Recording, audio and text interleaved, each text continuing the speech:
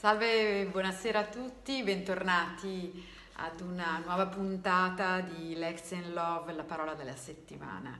Eh, quella di oggi non è proprio soltanto una parola, ma è una espressione eh, costituita da, da due elementi che fa parte del paradigma normativo di questo reato che stiamo imparando a conoscere bene, eh, che è il revenge porn.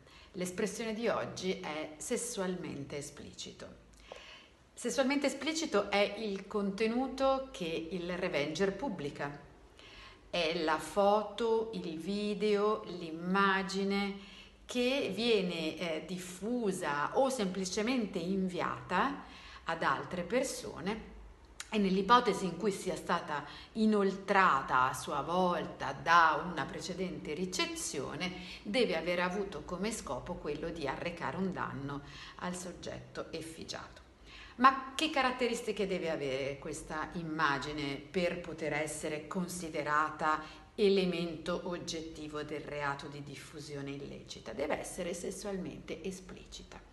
Il legislatore non ha spiegato che cosa andasse a colpire esattamente, non ha fornito una definizione, eh, probabilmente confidando su due elementi. Il primo è la immediata percepibilità e comprensibilità del concetto perché sessualmente esplicito eh, non ha bisogno di, di, di soverchie spiegazioni. E in seconda battuta perché molto spesso quando la formula normativa è così ampia, eh, si riesce a eh, coprire con essa anche tutte quelle manifestazioni ulteriori che nel futuro dovessero eh, svilupparsi anche grazie alla velocissima espansione dei mezzi tecnologici e telematici. Questo infatti è un reato che pur annoverando il mezzo informatico come circostanza aggravante, quindi non essere quella la regola ma qualche cosa di più grave, in realtà come sappiamo viene eh, commesso per lo più attraverso i social. Sessualmente esplicito quindi eh, è ciò che attiene all'area del pudore, dell'osceno, a quella antica, eh, perché è davvero una norma del 1930, eh, fattispecie degli atti osceni, articoli 527, o comunque di ciò che andava a punire il comune senso del pudore.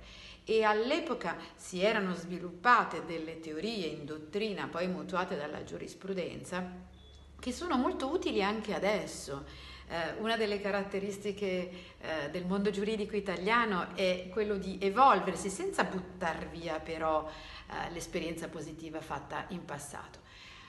Sul tema del pudore quindi si era distinto tra il pudore moda, il pudore medio e il pudore mediano, a seconda di ciò che avesse attinenza più con il momento precipuo, con l'attimo che si stava vivendo o che avesse una eh, accezione diciamo più comunemente accettata perché non si occupava di, di, estremi ma cercava appunto un punto medio tra le pruderie eh, di un ragazzino e quell'atteggiamento invece più moderato, più composto eh, e, e, e privo di particolare slancio tipico invece dell'età adulta.